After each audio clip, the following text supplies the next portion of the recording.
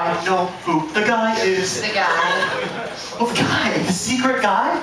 Osborne Cox. And I've got his number. I've got his number.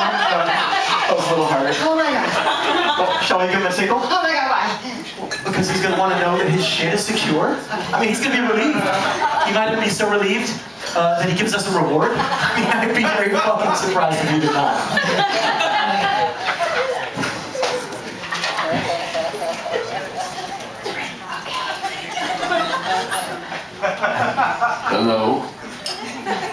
Hello, Hello, uh, Osborne.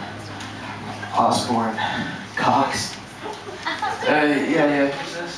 Uh, I, I am a uh, good Samaritan. Uh, I, I'm sorry to be calling at uh, such an hour, but I thought you might be worried about the security of your shit. What on earth are you talking about? Who, who is this? Uh, your, your files, your, um, your documents, I, I know these documents are sensitive, and I am perfectly happy to return to you your sensitive shit at a time of your choosing. What documents? What are you talking about?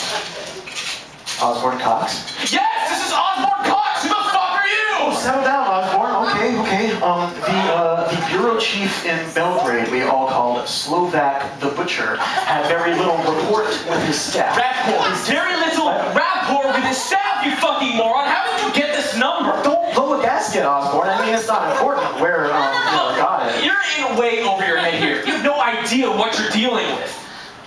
Oh, yeah, oh, yeah? Well, why so uptight, Osborne Cox? I mean, I'm just a good Samaritan, like a traveler on the road. We were gonna try to get like Linda, Linda, I'll do it. What the fuck is that? Uh, this is a major um, inconvenience for us, and uh, we thought, you know, uh, reward. Oh, so it's money. So it's money. Well, yeah. I mean, why not? I mean, this is not. Am I alone here? Hey, listen to me, you two clowns. I don't know who the fuck you are, but I warn you most emphatically. You are not. Huh? Yeah. Well, listen, Mr. Intelligence, we warn you. We will call you back with our demands. Sorry. Jeez. I'm very fucking surprised he did not give us a reward.